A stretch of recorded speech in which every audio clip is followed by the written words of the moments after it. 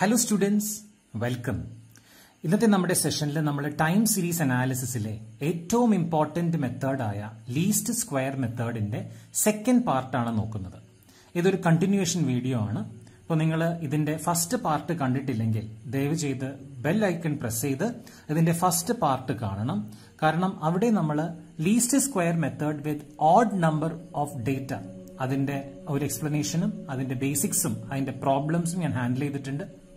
ഇവിടെ നമ്മൾ even number വരികയാണെങ്കിൽ ഡാറ്റ ഈവൺ നമ്പറാണ് തന്നിട്ടുള്ളതെങ്കിൽ എങ്ങനെയാണ് സോൾവ് ചെയ്യുന്നത് എന്നാണ് ഞാൻ പറയുന്നത്. ഇതിൽ വലിയ കാര്യമായ വ്യത്യാസങ്ങൾ ഒന്നും തന്നെ ഇല്ല. ചെറിയൊരു ടെക്നിക്കിൽ ഒരു ഒന്ന് രണ്ട് കോളം മാത്രം ഒരു ചെറിയൊരു വ്യത്യാസം. അത് കഴിഞ്ഞുള്ള ബാക്കി എല്ലാ കാൽക്കുലേഷനും ഫോർമുലാസും എല്ലാം സിമിലർ ആണ്. അപ്പോ വളരെ ചുരുക്കത്തിൽ ഞാൻ ഈ കാര്യങ്ങൾ പറയാം. നമുക്ക് ക്വസ്റ്റ്യൻ നോക്കാം. Compute the trend value by the method of least square. നമുക്ക് തന്നിരിക്കുന്നത് എട്ട് വർഷത്തെ ഡേറ്റയാണ്. ക്വസ്റ്റ്യനിൽ എട്ട് വർഷത്തെ ഡാറ്റ രണ്ടായിരത്തി ഏഴ് തുടങ്ങി രണ്ടായിരത്തി പതിനാല് വരെ എട്ട് വർഷത്തെ ഡാറ്റ തന്നിട്ടുണ്ട്. അതുകൂടാതെ പ്രോഫിറ്റ്സ് ഇൻ ലാക്സ് എട്ട് വർഷത്തെ പ്രോഫിറ്റ്സ് ഇൻ ലാക്സും തന്നിട്ടുണ്ട്. നമ്മൾ ആദ്യ പടി എന്നോണം സാധാരണ ചെയ്യുന്നത് പോലെ ബോക്സ് കോളത്തിൽ വർഷവും പ്രോഫിറ്റും എഴുതി അതിനുശേഷം ഞാൻ എത്ര വർഷമുണ്ടെന്ന് എണ്ണി നോക്കുകയാണ്. ഒന്ന് രണ്ട് മൂന്ന് നാല് അഞ്ച് ആറ് ഏഴ് എട്ട്. So N is equal to eight അതിനുശേഷം പ്രോഫിറ്റ്സ് ഇൻ ലാക്സിനെ ഞാൻ വൈ എന്ന് ഡിനോട്ട് ചെയ്യുന്നു. അതിന്റെ ടോട്ടൽ സിഗ്മ വൈ ഇതിനെല്ലാത്തിനെയും ആഡ് ചെയ്യുമ്പോൾ എനിക്ക് കിട്ടിയത് ത്രീ ഫിഫ്റ്റി സിക്സ് ആണ്. ഇനിയാണ് വളരെയധികം ശ്രദ്ധിക്കേണ്ട ഏറ്റവും ഇമ്പോർട്ടന്റ് സ്റ്റെപ്പ് വരുന്നത്. ഓഡ് നമ്പർ ആയിരുന്നെങ്കിൽ നമ്മൾ സെന്ററിൽ വരുന്ന ആ ഡാറ്റയെ നമ്മൾ സീറോ എന്ന് വിളിച്ചിട്ട് താഴേക്ക് ഞാൻ വൺ ടു ത്രീ ഫോർ എഴുതും. മുകളിലേക്ക് ഞാൻ minus one two three four എഴുതും. ഇവിടെ ഞാൻ എട്ട് ഡാറ്റ ഉള്ളത് കൊണ്ട് അതിനെ എക്സാക്ട് സെന്ററിൽ വെച്ച് ഞാനിവിടെ ചെറിയൊരു ബൈഫർക്കേഷൻ കൊടുക്കുന്നുണ്ട്. അതിന് താഴേക്ക് ഞാൻ zero point five one point five plus one two point five plus one three point five one എന്നുള്ള ആ ഒരു ഇന്റർവൽ ഗ്യാപ്പിൽ പോയിന്റ് ഫൈവിൽ നിന്ന് കൂട്ടി കൂട്ടി കൊണ്ടുവരാണ്. Point five one point five two point five three point five കൂടുതലുണ്ടെങ്കിൽ four point five five point five അങ്ങനെ എഴുതി പോവാം. മുകളിലേക്ക് അതുപോലെ നെഗറ്റീവ് ആണ്. Minus zero point five minus one point five minus two point five minus three point five it goes ഒരു extra column ഈ ഒരു പ്രോബ്ലത്തിൽ വരുന്നുണ്ട്. ഓഡ് നമ്പർ സീരീസിൽ ഈ ഒരു സ്റ്റെപ്പ് ഇല്ല. ഇവിടെ ഞാൻ ടു ഇന്റു ഡി. പ്രത്യേകം ശ്രദ്ധിക്കുക ഇത് ഡീവിയേഷൻസിന് ഡി എന്നാണ് ഡിനോട്ട് ചെയ്തിരിക്കുന്നത്. വൈ എന്നല്ല. നൗ എക്സ് എന്നല്ല. ഇവിടെ X is equal to two D ആണ്.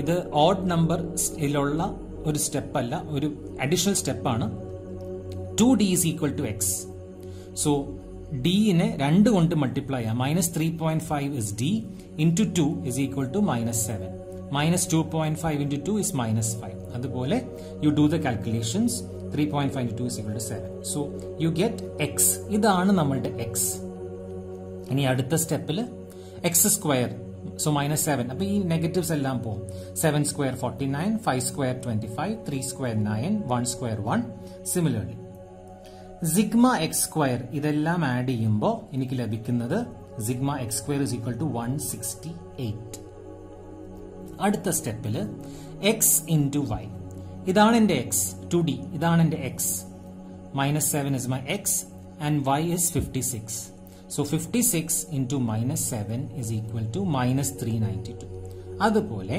fifty five into minus five is equal to minus two seventy five fifty one into minus three is equal to minus one fifty three it goes sigma X Y ഇതെല്ലാം ഞാൻ total ചെയ്യുമ്പോൾ I get minus three one two minus three one ശ്രദ്ധിക്കേണ്ട same formulas തന്നെയാണ് ഫോർമുലകൾക്ക് വ്യത്യാസമില്ല.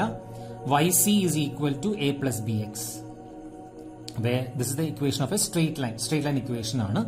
So എന്റെ formula ഇതാണ് sigma Y by N what is sigma Y sigma Y ഇതാണ്. Three fifty six three fifty six by N is equal to eight three fifty six by eight is equal to forty four point five ബിയുടെ formula same as last time B is b to sigma X Y by X sigma X square what is sigma X Y ഇതാണ് sigma X Y minus three one two by sigma X square one sixty eight three one two by one sixty eight is equal to minus one point eight six കിട്ടിയിരിക്കുന്ന എയുടെ value forty four point ഫൈവും ബിയുടെ value minus one point eight സിക്സും ആണ്. A plus B X എന്ന് പറയുന്ന ഇക്വേഷനിലേക്ക് നമുക്ക് ഈ വാല്യൂസ് സബ്സ്റ്റിറ്റ്യൂട്ട് ചെയ്യാം. A is equal to forty four point five നമുക്ക് കിട്ടി. Plus A B is equal to minus one point eight six minus one point eight six into X എക്സിന്റെ value എന്താണ്? Minus seven minus seven so ഇത് solve ചെയ്യുമ്പോൾ നമുക്ക് ലഭിക്കുന്നത് fifty seven point five two ഒരെണ്ണം കൂടി നോക്കാം. A is equal to forty four point five plus minus one point eight six into minus five is equal to when you solve this you get 53.80 when you solve for the entire ഇതെല്ലാം നമ്മൾ solve ചെയ്യുമ്പോൾ ഇവിടെ A constant value ആണ് B constant value ആണ്. ഈ എക്സിന്റെ value മാത്രം ഇവിടെ നിന്നെടുത്ത് നമ്മൾ ഡിനോട്ട് ചെയ്യുക. Finally you get these points നമ്മളുടെ പ്രോബ്ലം ആക്ച്വലി ഇവിടെ അവസാനിക്കുന്നു. പക്ഷേ ഇൻ കേസ് എങ്ങാനും നമ്മളുടെ ക്വസ്റ്റനിൽ what will be the trend for the year for the next year for the year two thousand ഫിഫ്റ്റീനോ സിക്സ്റ്റീനോ ചോദിച്ചാൽ you will have to plot the graph graph വരയ്ക്കേണ്ട രീതിയെക്കുറിച്ച് ഞാൻ കഴിഞ്ഞ വീഡിയോയിൽ പറഞ്ഞിട്ടുണ്ട്. അപ്പോൾ നിങ്ങൾ ടൂ തൗസൻഡ് ഇയറും പ്രോഫിറ്റ്സ് ഇൻ ലാക്സും ഈ വൈ സിയുടെ വാല്യൂവും വെച്ചിട്ടാണ് നമ്മൾ ഗ്രാഫ് വരയ്ക്കുക. സോ ഇയർ എക്സ് ആക്സിസിൽ പ്രോഫിറ്റ്സ് ഇൻ ലാക്സ് വൈ ആക്സിസിൽ അത് വരയ്ക്കുമ്പോൾ യു ഗെറ്റ് ആക്ച്വൽ കർവ് അതിനുശേഷം നമ്മൾ ഈ വാല്യൂസ് വെച്ച് ഓരോ വർഷത്തിനും ഈ വാല്യൂസ് വെച്ച് നമ്മൾ പ്ലോട്ട് ചെയ്യുമ്പോൾ നമുക്കൊരു സ്ട്രെയിറ്റ് ലൈൻ ലഭിക്കും. അതാണ് നമ്മുടെ ട്രെൻഡ് ലൈൻ ആ ട്രെൻഡ് ലൈൻ ഉപയോഗിച്ച് നമ്മൾക്ക് ഫോർകാസ്റ്റിംഗ് നടത്താം. കഴിഞ്ഞ വീഡിയോ നിങ്ങൾ കാണുക. അപ്പൊ അതിന്റെ അകത്ത് കൃത്യമായി ഗ്രാഫ് വരയ്ക്കുന്ന രീതി പറയുന്നുണ്ട്. വളരെ ഇമ്പോർട്ടന്റ് ആയിട്ടുള്ള ഒരു ചോദ്യമാണ് മെത്തഡ് ഓഫ് ലീ സ്ക്വയർസ് എക്സാമിന് വരാൻ സാധ്യതയുള്ളതാണ്. പത്ത് മാർക്കെങ്കിലും ഉള്ള ഒരു ചോദ്യമായിട്ട് ഇത് വന്നാൽ നിർബന്ധമായും നിങ്ങൾ എല്ലാ സ്റ്റെപ്പുകളും വൃത്തിയായി കോളം വരച്ച് ഞാൻ ഈ ചെയ്തേക്കുന്ന പോലെ ഓരോ സ്റ്റെപ്പും എഴുതി വേണം നിങ്ങൾ ചെയ്യാൻ. അതോടൊപ്പം തന്നെ ചിലപ്പോൾ ഗ്രാഫ് പേപ്പർ ആയിരിക്കും നിങ്ങൾക്ക് എക്സാമിന് തന്നിരിക്കുക. സോ ഗ്രാഫ് പേപ്പറിൽ ഭംഗിയായിട്ട് നിങ്ങൾ ഗ്രാഫും പ്ലോട്ട് ചെയ്യുക.